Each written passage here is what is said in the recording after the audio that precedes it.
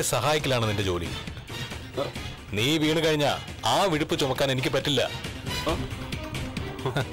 ഭാരം ചുമക്കുന്ന കഴുതിയല്ലട ഞാൻ. ഒരുപാട് പേര് വിളിച്ചു.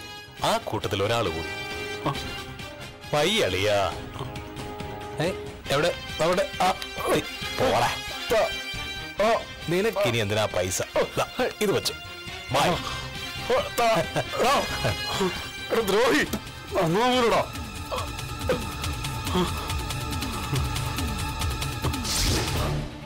അവിടെ എല്ലാം തെരഞ്ഞു ഞാൻ പക്ഷെ കണ്ടില്ല. ഈ സഹായി എന്ന് പറയുന്നവൻ മുമ്പ് അവന്റെ കൂടെ ഉണ്ടായിരുന്നു. അവനെ എങ്ങ് തന്നൂടായിരുന്നു മോനെ.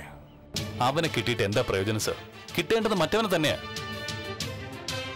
അവൻ ആ പരിസരത്ത് എവിടെയെങ്കിലും കാണും.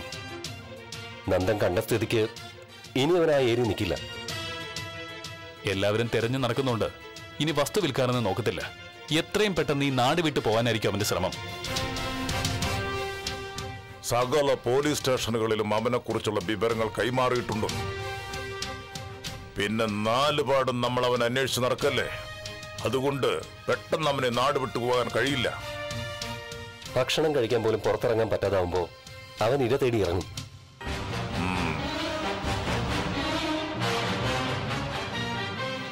എനക്ക് നിങ്ങളോട് ഒറ്റ റിക്വസ്റ്റേ ഉള്ളൂ.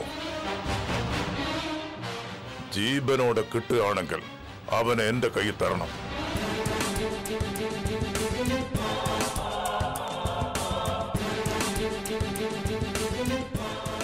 നന്ദനുണ്ടായ നഷ്ടങ്ങളൊക്കെ എസ് ഐ ബലരാമൻ വിശദമായി എനിക്ക് പറഞ്ഞു തന്നു. അത് കേട്ടപ്പോ സത്യം പറഞ്ഞ എന്റെ വേദനയെല്ലാം വളരെ ചെറുതാണെന്ന് തോന്നി.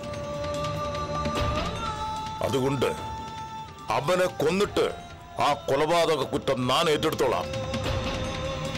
ഒരു കാരണവശാലും നന്ദനെ ജയിലിലേക്ക് പോകരുത്. തന്റെ മുമ്പിൽ ജീവിതം ഒരുപാടുണ്ട്. ഇനി എന്ത് ജീവിതം സാറേ? ജീവിച്ചിരുന്നു. അവനും എന്റെ ഭാര്യയായി വന്നവളും വീട്ടിലേക്ക് വരുന്നതിന് മുമ്പ് വരെ. അതിനുശേഷം എല്ലാം പോയി. ഉള്ളിൽ തട്ടി നമ്മളൊക്കെ അവരെ സ്നേഹിക്കുമ്പോ അവർ നമ്മുടെ ചങ്ക് പറിച്ചെടുക്കുക മടുത്ത് ഞാൻ. ഇനി സഹിക്കാൻ വയ്യ. സാറിനെ പോലെ തന്നെ എനിക്കും ആഗ്രഹമുണ്ട്. അവന്റെ നെഞ്ചത്ത് ആദ്യത്തെ വെട്ട് ഞാൻ തന്നെ വെട്ടണമെന്ന്. ഞാൻ പറയുന്നത് നിങ്ങളൊക്കെ തല്ലി ചതക്കുന്നെങ്കിൽ അത് ചെയ്തോ? കൈയും കാലും തല്ലി ഒടിച്ചോളൂ. എന്നിട്ട് അവനെ നിയമത്തിന് വിട്ടുകൊടുക്ക്. എത്ര ക്രിമിനൽ കേസുകളാ. ഏറെ ഉറപ്പാ. അതുണ്ടായില്ലെങ്കിലോ? എപ്പോഴെങ്കിലും പറോളിലിറങ്ങുന്ന അവൻ മുങ്ങും. വീണ്ടും പഴയപടി തന്നെ.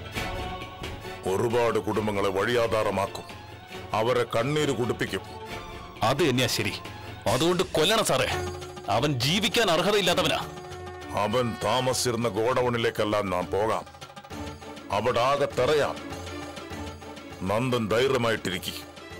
മറിച്ചെന്റെ മോളുടെയും തന്റെ പെങ്ങളുടെയും ഒക്കെ ആത്മാവ് അവനെ കാട്ടിത്തരും.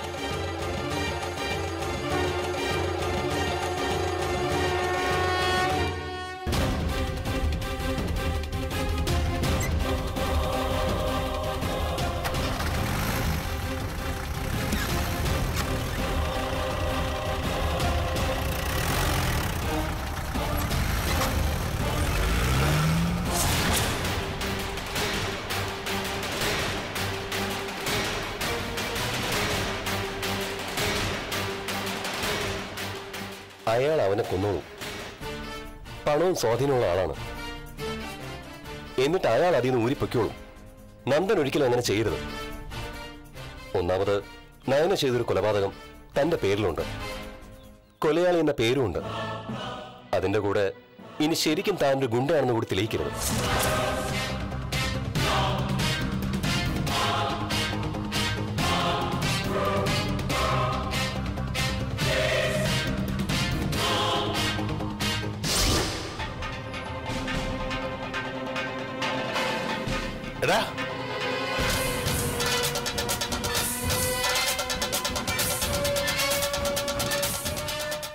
തൊപ്പിയും വെച്ച് സൺഗ്ലാസും വെച്ച് നടന്ന അറിയത്തില്ലെന്ന് വിചാരിച്ചല്ലേടാ?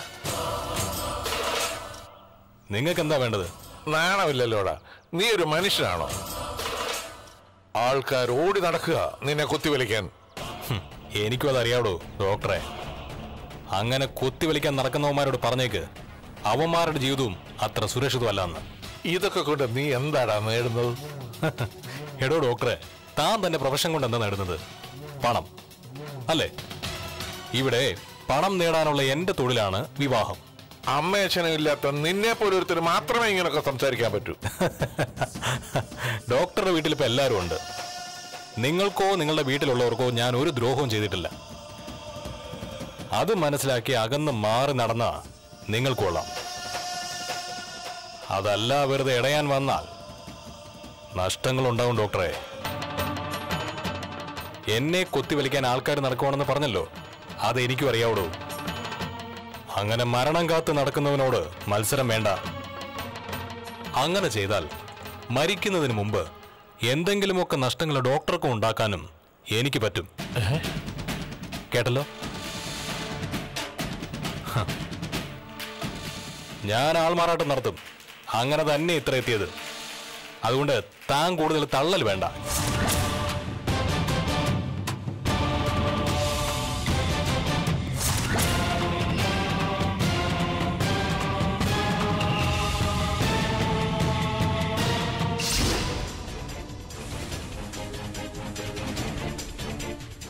കണ്ടതായിട്ട് രോഹിണിയച്ചോട് ഡോക്ടർ പറഞ്ഞു.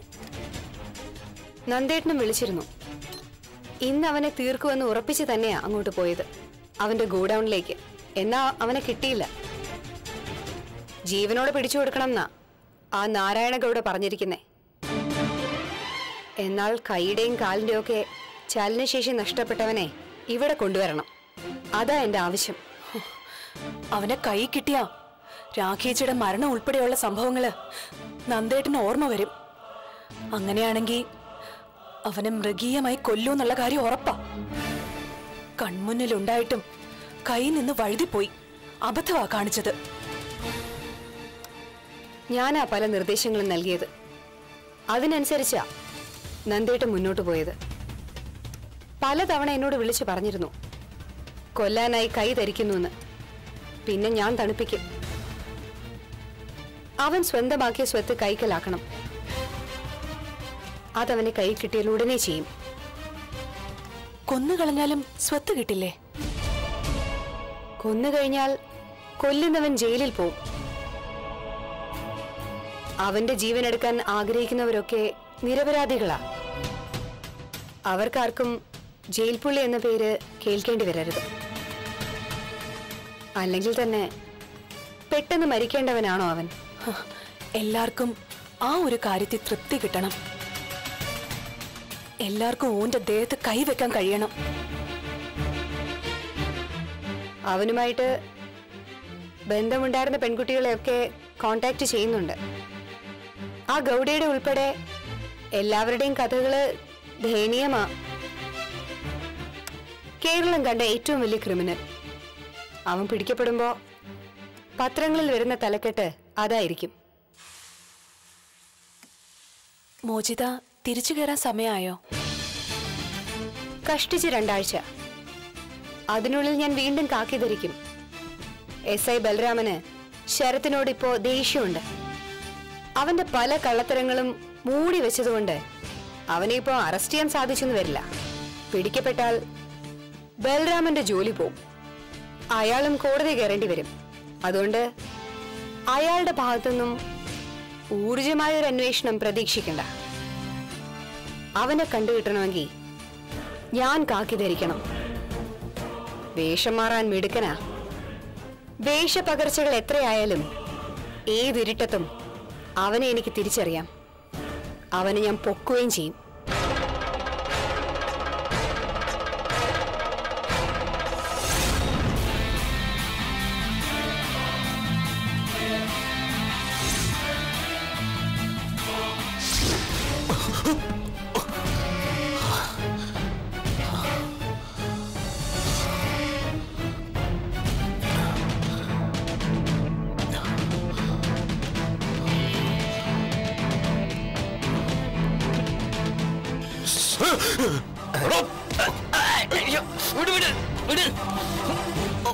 എടാ. എന്റെ ഭ്രാന്തൊക്കെ മാറി.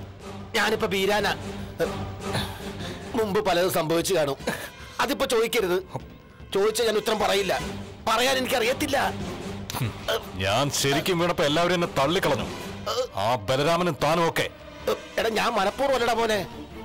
ആ തട്ടുകടക്കാരൻ എന്റെ സുഷ്മന നാടിയിൽ കൈയെടുത്തിട്ട ശേഷം എന്റെ ഓർമ്മ പോയില്ലേ? അതുകൊണ്ടാ ഞാൻ പറഞ്ഞത്. ഓർമ്മ തിരിച്ചു കിട്ടിയത് വരെയുള്ള കാര്യങ്ങൾ എന്നോട് പറയണ്ടെന്ന്. വിട് വിട് വിട്.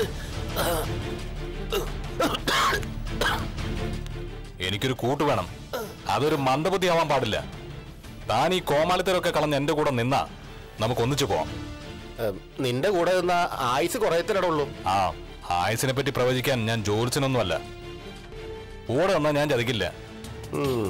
ചതിക്കാത്ത ഒരുത്തൻ.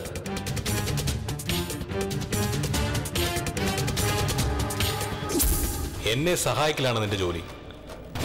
നീ വീണ് കഴിഞ്ഞാ ആ വിടുപ്പ് ചുമക്കാൻ എനിക്ക് പറ്റില്ല.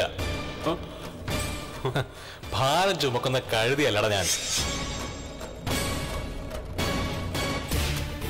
നീ എന്താ ചിന്തിക്കണേ? അല്ല എന്റെ ആ കൂട്ടുകാരനുണ്ടല്ലോ പ്രകാശൻ. വർഷങ്ങളായിട്ടുള്ള കൂട്ടാ. എന്നിട്ടും അവൻ നന്ദിയോട് കാട്ടി. ആ അതിനെപ്പറ്റി ഒന്നും ഇനി പറയുന്നില്ല. അതുപോലെ ആവരുത് താനും. എനിക്കിനി പണിയെടുത്ത് ജീവിക്കാൻ വയ്യ. അതുകൊണ്ട് കാശ് കിട്ടുകയാണെങ്കിൽ നീ പറയുന്നത് എന്തും ചെയ്യാം. പണത്തിന്റെ കാര്യം വിട്. പറഞ്ഞതൊക്കെ ഞാൻ പാലിച്ചിട്ടുണ്ടല്ലോ. കൊറേ പെൻഡിങ് ഉണ്ട്. അതും തന്നു തീർക്കും. എന്നെ റാജ നടക്കുന്ന കഴുകന്മാരുടെ കണ്ണിപ്പെടാതെ എന്നെ രക്ഷിക്കണം.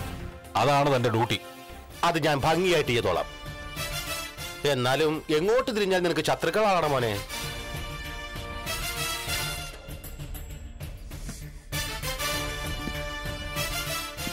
ഇപ്പൊ തന്നെ മരണത്തിൽ നിന്ന് തലനാരഴയ്ക്ക രക്ഷപ്പെട്ടത്. കൊല്ലുമെന്ന് ഉറപ്പിച്ച ചിലർ ജയിലിൽ കിടത്തുന്നു മറ്റു ചിലർ. ആ വെല്ലുവിളികളെ അതിജീവിച്ചുകൊണ്ട് പിടിച്ചു നിൽക്കണം. റിസ്ക്കാണ്. എങ്കിലും തലച്ചോറുള്ളവനെ താർക്കാൻ അത്ര പെട്ടെന്ന് ആർക്കും കഴിയില്ല. താനൊരു കാര്യം ചെയ്യേ. ഒന്ന് കറങ്ങിയിട്ടൊക്കെ വാ. സാഹചര്യമൊക്കെ ഒന്ന് മനസ്സിലാക്ക്. പിന്നെ ആ നന്ദന്റെയും ഗൗഡയുടെയും കയ്യിൽ പെടാതെ സൂക്ഷിച്ചോണം. ആ അല്ല സൂക്ഷിച്ചല്ലേ പറ്റൂ? അല്ല നീ ഇവിടെ തന്നെ കാണൂലേ. ആ കണ്ടാ മതി.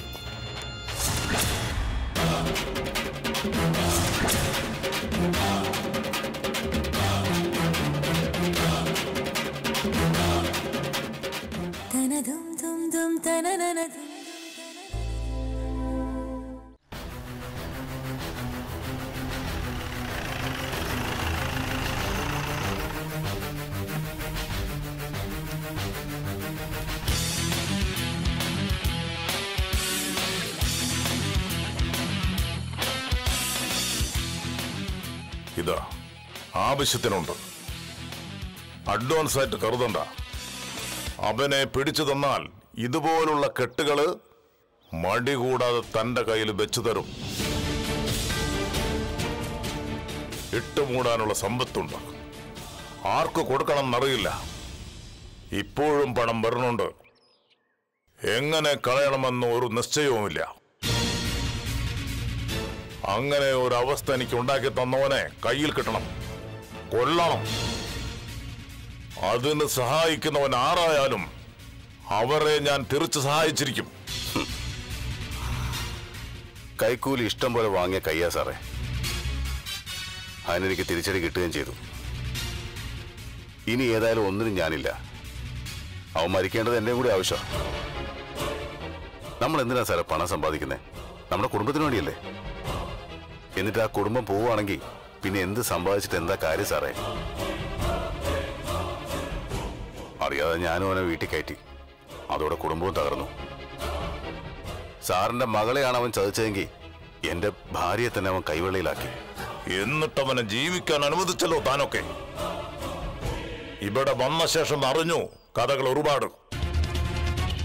ആ റോഹിണി എന്ന് പറയുന്ന കൊച്ചിന്റെ അനുജത്തിയെ ക്രൂരമായി ബലാത്കാരം ചെയ്ത് കൊന്നിട്ട് താൻ അവനൊപ്പം തന്നില്ലേ ഒരു നിറപ്രാതിയെ ജയിലിലാക്കി. അതിനുള്ള ശിക്ഷയാ സാർ എനിക്ക് കിട്ടിയത്. ആ കുറ്റബോധത്തിൽ നിന്ന് കരകയറണമെങ്കിൽ ഇനി അവൻ മരിക്കണം. അങ്ങനെ പെട്ടെന്നൊന്നും തീർന്ന ജന്മമല്ല അവന്റേത്. അങ്ങനെ ആയിരുന്നെങ്കിൽ എന്നെ തീർന്നേനെ. പക്ഷേ ഇവിടെ അവന് കെണിവെച്ചാൽ അതിൽ അവൻ പെടും. അത്രയ്ക്ക് ശത്രുക്കളാ. ചുറ്റും. നാനും ഇവിടെ തമ്പടിച്ചിരിക്കുന്നത് അവന്റെ ദയനീയമായ മരണം മുന്നിൽ കാണാൻ തന്നെയാ. തനക്കറിയാൻ സാധിക്കുമല്ലോ. അവൻ മറഞ്ഞിരിക്കുന്ന സ്ഥലങ്ങളൊക്കെ. അവിടെ ഒന്നും ഇനി അവൻ മറഞ്ഞിരിക്കണമെന്നില്ല. സാറിനറിയാലോ തനി രാവണനാ. ശക്തിയല്ല ബുദ്ധിയാണ് അവന്റെ ബലം. ആ വൃത്തികെട്ട തലച്ചോറിന് വഹിക്കുന്ന അവന്റെ തലമണ്ട തല്ലി പൊളിക്കണോ അതോടെ വീരം കെട്ടവൻ സഹായത്തിനായി ചുറ്റിനും നോക്കും. ആദ്യം കസ്റ്റഡിയിൽ എടുക്കണ്ട.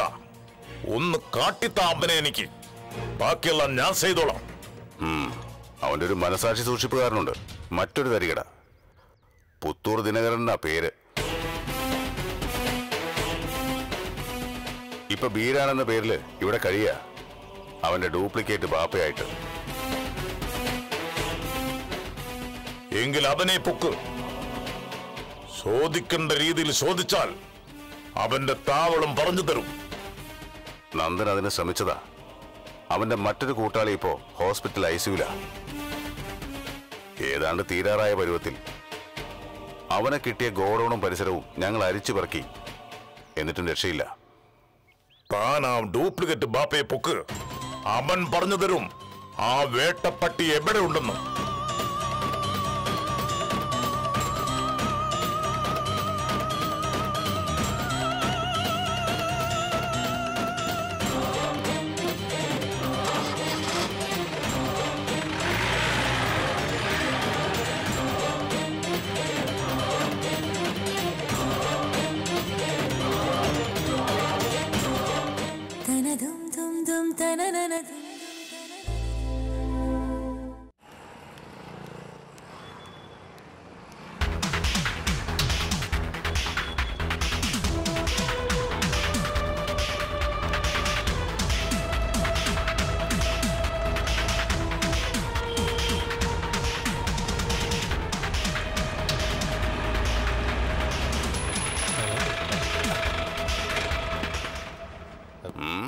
എന്താ സാറേ?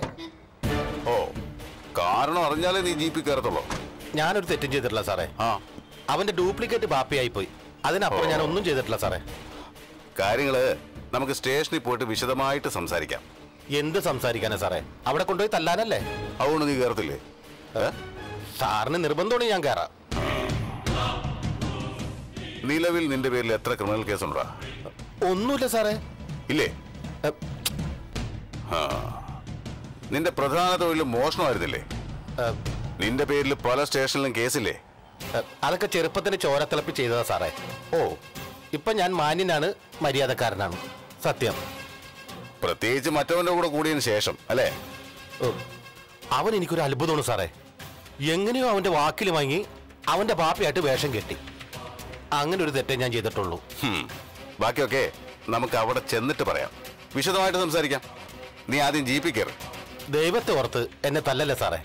ഇനി ഇടി കൊണ്ടാലേ ഞാൻ തീർന്നു പോകും സാറേ. എടാ നീയൊക്കെ ജീവിച്ചിരുന്നിട്ട് ആർക്ക് എന്താ പ്രയോജനം? നീ ഇടയ്ക്ക് സത്യങ്ങളൊക്കെ പറഞ്ഞിട്ടുണ്ടെന്നല്ലേ?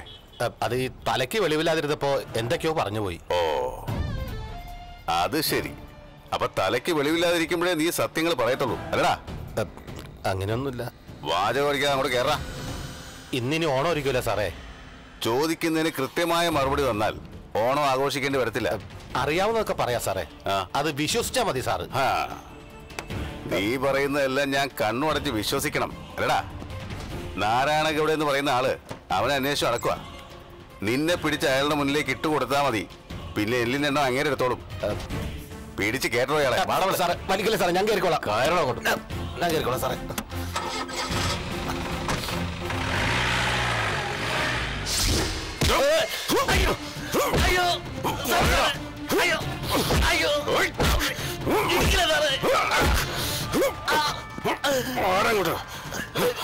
ഇനി എന്നെ തല്ലല്ലേ സാറേ? ഓരോ ഇടി നിന്നെ ഇടിക്കുമ്പോഴും അവൻ ചതിച്ച ഓരോ പെൺകുട്ടിയുടെയും കണ്ണീർ എന്റെ മനസ്സിലുണ്ടടാ. എന്നെ തകർത്തതിന്റെ വാശിയുണ്ട്. അതിനെന്തിനാ സാറേ എന്നെ തല്ലിക്കൊല്ലുന്നത്? നീ പറയണം. അവനിപ്പോ തങ്ങുന്ന എവിടെയാണെന്ന് പറഞ്ഞേ പറ്റൂ. എനിക്കറിയത്തില്ല സാറേ. ഇടയ്ക്ക് എന്റെ ഓർമ്മശക്തി പോയിട്ട് സത്യങ്ങൾ പറഞ്ഞു തുടങ്ങിയപ്പോ അവന് ഞാനും ശത്രുവായി. ഒരു രഹസ്യങ്ങൾ എന്നോട് പറയാതായി. അയ്യോ സാറേ. സാറേ, സാറേ പാടില്ല എന്ന് പറയേണ്ടവര് പറഞ്ഞിട്ടുണ്ട്. അത് നിന്നെ പോലുള്ളവർക്ക് ബാധകമല്ലടാ. പൊതുനിരത്തിൽ വെച്ച് നിന്നെയൊക്കെ തല്ലിക്കൊന്നാലും ജനം കൈയടിക്കേയുള്ളൂ നിന്റെയൊക്കെ കഥകൾ അറിഞ്ഞു കഴിയുമ്പോ. പറയടാ. അവൻ പോകാൻ സാധ്യതയുള്ള സ്ഥലങ്ങൾ എവിടെയാണെന്ന് പറ.